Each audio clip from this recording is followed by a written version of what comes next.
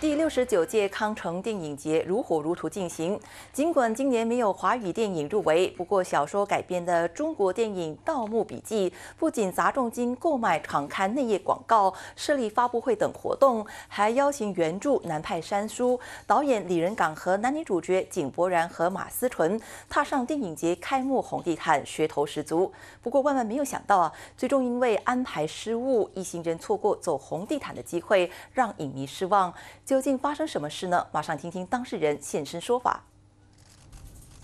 每逢康城电影节时刻，无论大师级导演还是菜鸟演员，作品入围与否，能够踏上这条长六十米的红地毯，都是世界影坛最高荣耀的见证。中国电影《盗墓笔记》的剧组和演员这次受邀走红地毯，不过整组人却因为交通安排沟通失误，延迟抵达现场，错失走红地毯。两位演员井柏然和马思纯认为一切是预料外事，希望下次可以以入围者的身份现身康城。在戛纳是第一次，对，所以从演员本身这是一个很棒的事情。当然有一些小失误，我觉得这个东西是我们预测不到的。嗯。但我相信我们都还年轻，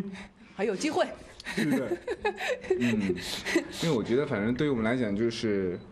一步步走进戛纳，这一次来宣传，下一次希望咱们再来。作品可以入围，对，因为我觉得戛纳是一个所有电影电影人都向往。《盗墓笔记》电影是由香港导演李仁港执导，并设计了多个武打桥段。对于首次接触这类剧情的井柏然和马思纯来说，大喊吃不消，一度想打退堂鼓。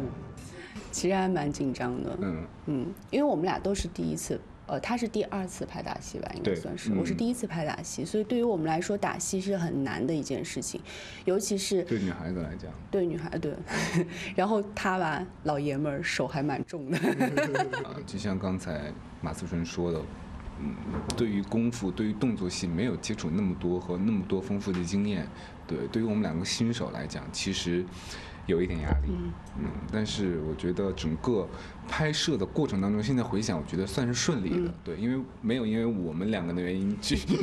造成太多耽误，对，没有耽误太长时间。《盗墓笔记》是一部动作探险电影，改编自南派三叔同名小说，讲述吴邪在先人的笔记中发现了古墓秘密，在好奇心的驱使下，与一批盗墓高手一同寻宝，却意外发现千年古墓中数不胜数的诡异事物。电影预计七月份在中国上映。